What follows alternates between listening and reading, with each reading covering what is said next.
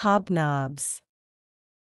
Hobbled hobnobs hobbling on home trudge trodden, a teetotaler timing trains complains that strange schedules are never gotten. Whinging into a wristwatch whist on wrist, talk ticking time twisted sands shifted, insisting on an abrupt hushed whisht. Seething steel screams from seam beams to be gird, deafeningly darting down his devilry in tongue's brevity, folded heavenly and dog-eared. Bullfinches bristled in a bric-a-brac buzzing chirp for nothing, the riffraff riffling and ruche rousing some cutthroat mouthing, footsteps doused me steel trussing.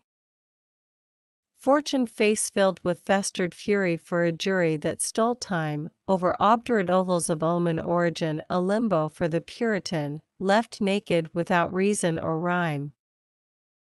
Heuristic hourglass held and helve only to delve, life's linger and rambling, wander, never any time to ponder. Somewhere off yonder a bell ring signals twelve.